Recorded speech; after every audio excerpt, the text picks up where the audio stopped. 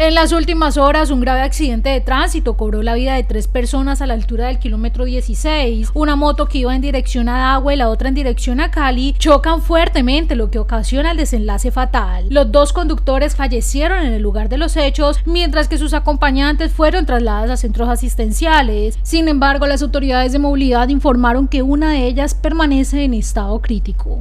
En la madrugada del día de hoy, aproximadamente a las 2 de la mañana, se nos presenta un incidente en el kilómetro 16 de la vía al mar, en el cual al parecer los conductores de dos motocicletas pierden el control de la misma. Estamos revisando si fue por exceso de velocidad o por estar adelantando maniobras peligrosas.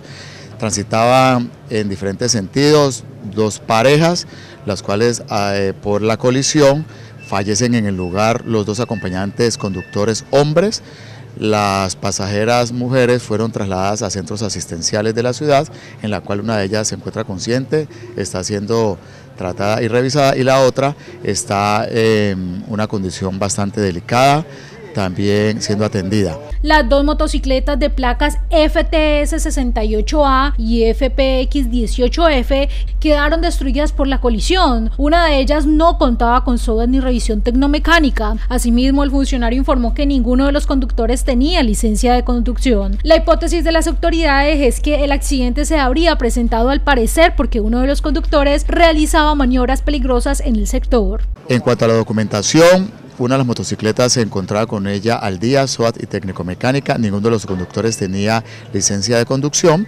y pues por obvias razones no se ha podido adelantar las, lo que respecta con las pruebas de alcoholemia. Nuestro equipo de agentes de tránsito estaban adelantando y realizando las labores respectivas para complementar los informes y lo que respecta a este caso. Un informe entregado por Movilidad evidencia que los accidentes en este sector han disminuido en comparación al año pasado, teniendo en cuenta el despliegue de operativos que se hace en la zona para evitar los piques ilegales y hechos que lamentar.